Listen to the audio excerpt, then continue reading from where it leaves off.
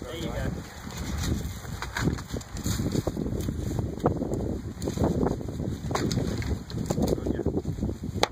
Booyah!